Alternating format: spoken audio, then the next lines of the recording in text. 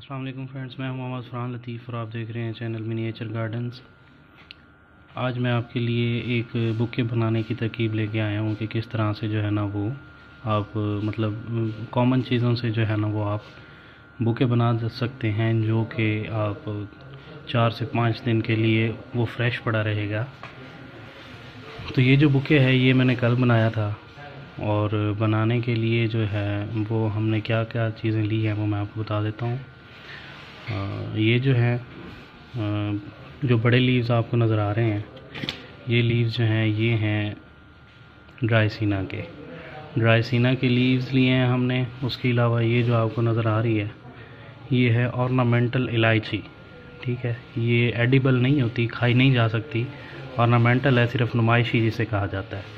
ये वो है, उसके अलावा ये कलगा कलगा के फ्लावर लिए गए हैं, जो बिल्कुल फुली जो है वो स्प्रेड नहीं थे, थोड़े से अभी स्प्रेड उनका होना रहता हो, ताकि वो दो तीन दिन के अंदर स्प्रेड हो जाए, ठीक है?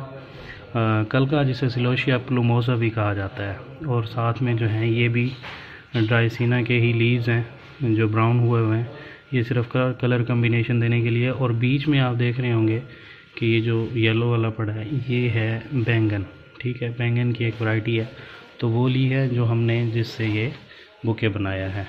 तो उसके अंदर जो आपने एक शीशे का जार लिया है, जो कि कॉमनली हर घर में अवेलेबल होता है, और नीचे जो है, ये पानी नहीं है। इसके अंदर जो डाला गया है, वो सोल्यूशन डाला गया है। किस चीज़ का सोल्यूशन है?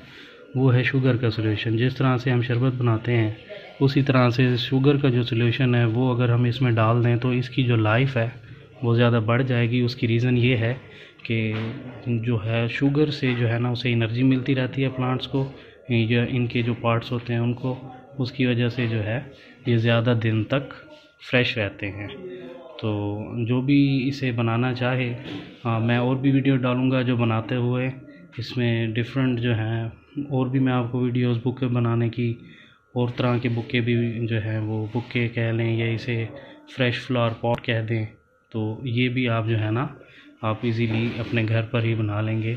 तो उसमें सिर्फ़ कलर की जो आपकी एक सेंस होनी चाहिए, वो अच्छी होनी चाहिए तो उससे आप एक बहुत ही अच्छा बुके बना सकते हैं। तो हमारी वीडियो को लाइक करें, चैनल को सब्सक्राइब करें और हमारे साथ जुड़े रहें ताकि हमारी जो है अच्छी अच्छी वीडियोस आपके साथ आती रहें और आप उसे देखते रहें। Thank you so much. अल्लाह हाफिज़।